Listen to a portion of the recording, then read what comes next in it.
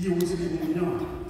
막 저희들 힘나고 이런 거까지 좋은데 손이 안 올라가요. 그러니까. 뇌가 껴가지고. 박수가 그래서 잘안 쳐져요. 네, 저희 대신 박수 좀 많이 쳐주세요. 아마 그 공감을 엄청 많이 하실 거예요. 아름다우려면 뭔가 감수를 해야 되죠. 네, 그래서 저희도 멋져 보이기 위해서 팔을 드는 거를 포기했습니다. 네, 그래서 뭐 박수는 여러분들께서 쳐주시고 함성도 여러분들께서 질러주시니까 저희는 노래만 하면 되겠네요. 좋습니다. 자, 다음 곡 다음 곡 들려드리도록 하겠습니다. 더 많이 하시는 분을 네. 신나게 물리도록 하겠습니다.